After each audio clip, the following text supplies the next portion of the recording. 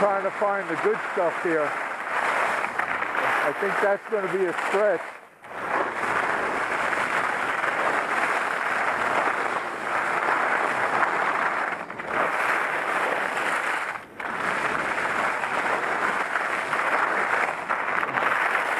That is definitely chunky monkey stuff.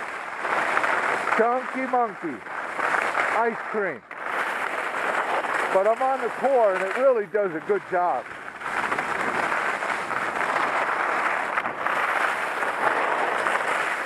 You talk about some ice.